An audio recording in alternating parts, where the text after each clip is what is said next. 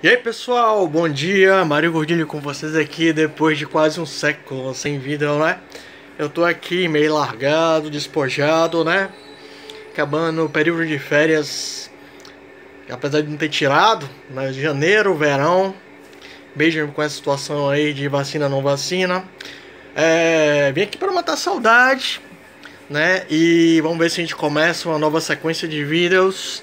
É, agradecer ao pessoal que tem acompanhado nossa página e pedir para que entendam, né, aqui pessoalmente, online, que é, as postagens que eu faço sobre artistas não estão ligados, sério, de coração, as intenções deles lá fora, de fora da arte, políticas, religiosas, sexuais, entendeu?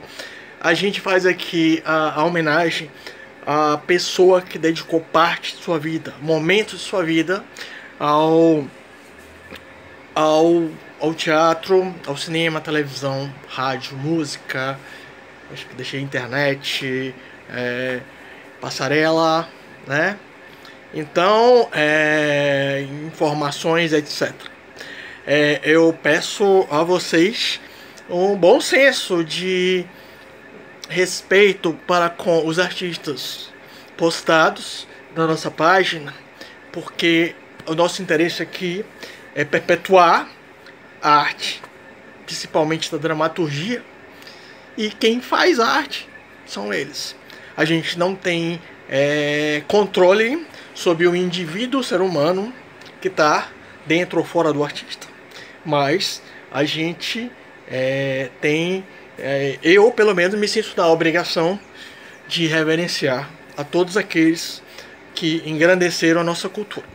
Claro que tem algumas exceções, pouquíssimas exceções, de pessoas que realmente cometeram atos, é, é, vamos dizer assim, é, desumanos, extremamente a gente não pode homenagear. Mas, tirando isso, todos serão reverenciados. E eu peço desculpa aos que até agora eu não mencionei, é, a nível de aniversário ou de, de trabalho, mas é, a nossa meta é tentar 100%, se possível, né, de reverenciar a todos, tá? Um beijo, bom final de semana para vocês, é isso aí.